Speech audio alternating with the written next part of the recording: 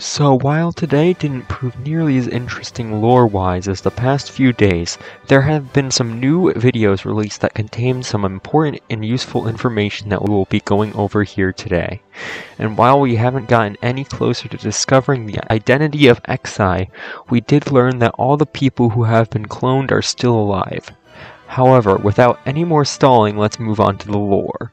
To begin with, the Clone VPN website has been updated to include their partners, which includes all the YouTubers that we have seen cloned so far, along with Joe Caine. Unfortunately, as I'm writing this, I'm not sure if that means he has accepted the sponsorship or not, but we'll get back to that in a second. The website includes a link to all these YouTubers' channels, and also this isn't important to the lore at all, but I managed to get these screenshots showing Squarespace stock images, so like I said, not important, but I do find it funny that it's a Squarespace website.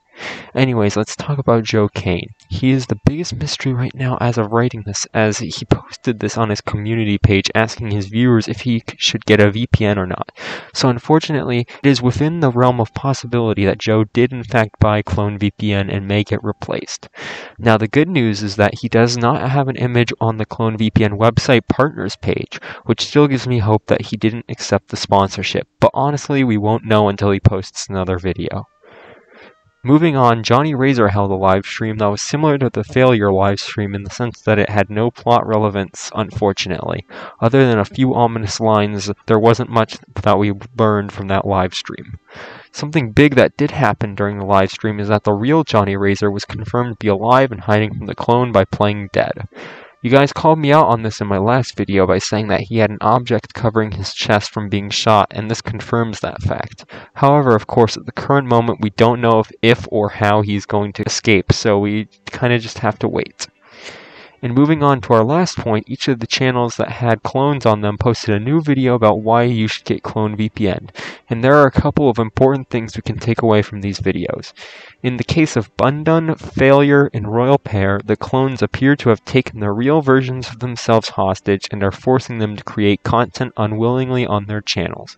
Bundun is the most obvious and extreme case of this, with Bundun literally being wrapped up in a chair, but the other channels have something similar if you pay attention.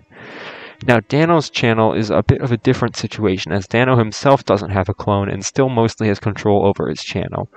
However, the clone of Riggy appears to be manipulating Danno into posting the content that Xi wants him to post without much of a fuss. Finally is the case of Jonny Razer's clone, who seems to be by far the most powerful of the clones, as it seems to be able to function just fine without the presence of the original Jonny, unlike the rest of the clones. However, of course, this could also be because this clone seems to be the most carefree of all the clones, so who knows.